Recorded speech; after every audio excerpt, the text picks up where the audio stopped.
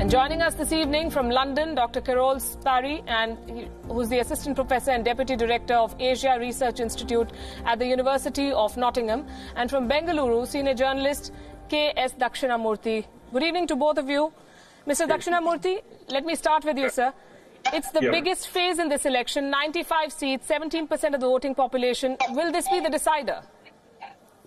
Well, um, yeah, in a, in a in a sense, you know, it's a 95 seats is a huge chunk, and it is really spread across the uh, country in uh, very crucial uh, um, areas. So it can be, you know, one can even call it a representative sample, you know, so to speak. So um, how how uh, India votes in this phase uh, probably will largely determine how the rest of the elections will go. But then, of course, at the end of it, we can't really uh, say much because the counting will happen simultaneously. But yes, you know, um, you know the kind of tempo, the, the you know the kind of uh, issues. And the way the voting pattern has happened probably is uh, an indicator of uh, things to come in the next five years. Dr. Spary, who according to you is running a better campaign? Running a better campaign? Well, that's a good question. Um, well, I think, for example, in the south, you mentioned Tamil Nadu being a new sort of challenge, um, and I think that's that's a really interesting one to watch because you know the the um, passing away of the two very big leaders. It's really a test to see um, you know, for the battleground of um, Tamil politics in particular. Um, in terms of who's running the better campaign, I mean, considering the number of parties and the number of leaders that are involved um, in this uh, in this particular phase, you know, you mentioned NCP, INC, uh, Congress, uh, BJP, Shiv Sena, West Bengal, Mamata Banerjee, and the, the, the combination there with the Congress and the left, but also the BJP. Uh, and Naveen Patnaik's party in uh, uh, Odisha as well. So there's so many different parties and, and leaders in the fray. I'd be reluctant to say who I think's winning um, in terms of you know capturing hearts and minds. Um, but I think it's uh, again we've got a long way to go still. Uh, we've got another sort of five phases to go. So I think it would be a little bit premature to to say who I think's winning. Um, but you know the manifestos are out there, and some of the candidates have not yet been uh, declared for the for the, some of the final phases.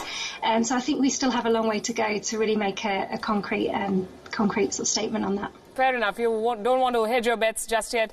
Uh, Mr. Dakshinamurthy, in 2014, we, uh, Jayalalitha won 37 seats, and yet she had no say in government formation at the centre because the BJP did extremely well. This time, it may not be the case. Who do you think is, is winning Tamil Nadu, considering the voting pattern that we just discussed? The state gives all the seats to one party or one combined.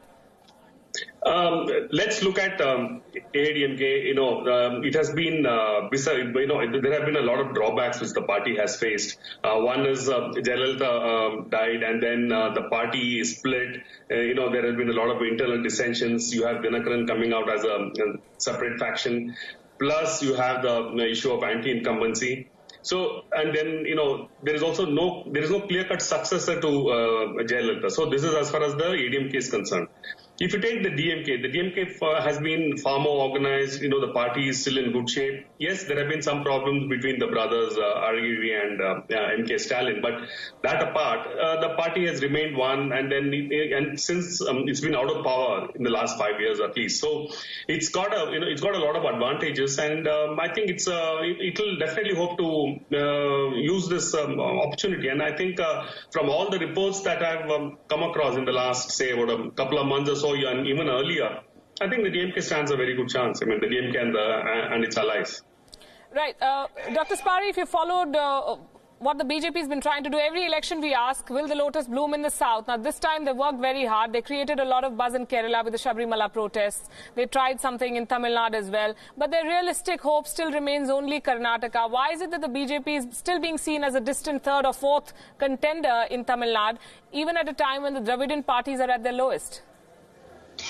Well, I think uh, Tamil politics has always been known for a kind of really strong regional identity, a really strong um, kind of pushback against um, sort of uh, central sort of um, interference in the state, um, but also uh, you know that kind of sense of central interference at least, but also a very particularly strong regional identity um, and a, a, very proud history as well, a proud sort of ethno-linguistic um, history of, uh, of identity. So I think in terms of trying to, uh, I mean ever since really since the 60s, but particularly since the 80s, these two main parties of the ADMK and the DMK have really been um, kind of really strong uh, parties in this state, um, kind of going back and forth, governments going back and forth against each other.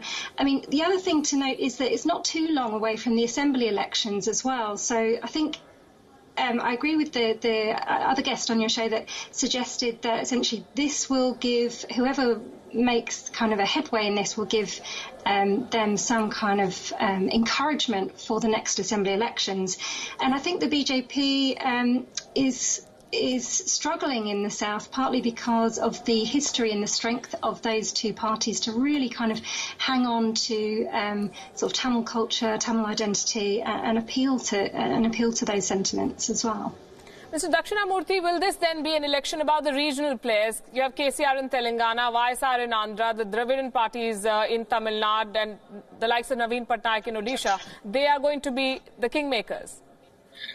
These are, um, uh, you know, uh, mark my words, these are going to be really, really big elections for the regional parties.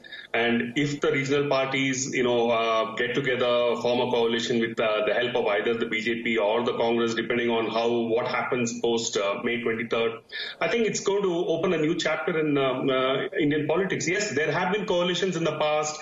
The uh, regional parties have been there for a very long time, but not in this in, with this kind of a spread because the uh, regional parties are seriously strong. For instance, in Telangana and uh, in Andhra, there is just no space for the Congress or the BJP. I mean, it's uh, you know it's amazing. You know, and if you look at um, Tamil Nadu, uh, you know, one is looking at the BJP desperately trying to get a foothold. But then you know, the point here is what is it that the BJP is offering Tamil Nadu, which uh, is not being offered by either the ADMK or the DMK. So you know, there's nothing new that the BJP is really offering. So they are basically riding piggyback on the ADMK. You take um, uh, Kerala. You know, Kerala, you have the um, UDF and the LDF and and you know they are you know in, in many ways it's a kind of a regional uh, battle that they fight.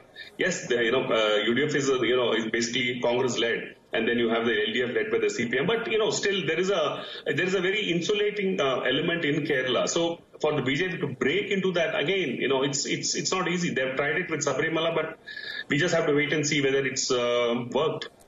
Indeed, and as we've said in the past, uh, Congress bashing doesn't work in a state where the Congress isn't a strong player. I want to come to Bengal, uh, Dr. Spary, and uh, Bengal is deeply divided. The campaign has been very high decibel, and it's become a Modi versus Mamata battle. The left has been relegated to the third spot. Do you see the BJP making significant gains here?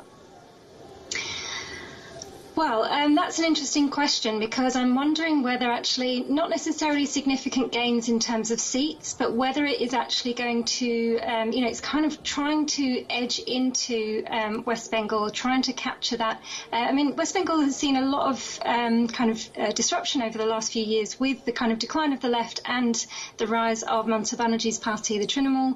Um, and what's interesting is, you know, some of the sort of pushing back that Mamata Banerjee's been doing, and a lot of that pushing back has been directed towards the BJP. Um, so, in a sense, uh, there is there is a sense that Mamata Banerjee has made this, uh, you know, in some senses, has made this about sort of trying to defend West Bengal against um, the kind of growth of the BJP. Um, but of course, there is still the Congress left um, combine. I know that they, um, Mamata Banerjee didn't want to um, go in, into an alliance with the Congress in this election. So I think that will be an interesting one to watch. Um, I, I, would like to think that um, Mamata Banerjee will manage to kind of keep, even though there is this anti-incumbency factor, but of course, historically, West Bengal hasn't had as high anti-incumbency as a number of other states. Right, actually had a, a long-term um, uh, left government in the state. So um, that was an interesting one to watch to see how the BJP will do, particularly in terms of vote share, not necessarily in terms of seats, perhaps. Right, Dr. Uh, Mr. Dakshinamurthy, this also seems to be a race for the Hindi vote, uh, the the Hindu vote rather. Both sides, you have Rahul Gandhi going to temples, Priyanka Gandhi going to temples, Amit Shah going to temples. At a time like this, the induction of Sadhvi Pragya Thakur, how will it impact this election, according to you? Um, it's just, uh, you know, there is already a, a deep uh, polarization that we have seen, you know, the fact that today we are talking uh, of voters, you know, in terms of uh, Hindu voters and Muslim voters and all that. Of course, it's always been there. I mean, no denying it. But it has acquired a, a sharper edge in, in these elections. For instance, you know, when uh, Rahul Gandhi uh, contested from Wayanad, the Prime Minister said that he was going there for the minority votes and, you know, things like that. So, um, in this context, so what is happening is that there is a sharpening of this um, dichotomy or the polarization in the you know in the as far as the religious uh, setup is concerned. So hmm. Sadhvi Pragya is a controversial figure, and you know she was accused in you know all those uh, um, uh, blast cases and all that. But the point here is that her entering will be something like what happened when Yogi Adityanath was made the chief minister of Uttar Pradesh, completely um, surprising everyone. So, in a sense, you know, it caters to a certain hard, uh, hardline, rigid um, uh, sections of, uh, you know, the pro-Hindutva um, elements in, um, in Indian society. So, it could further polarize the situation. That's how I see it.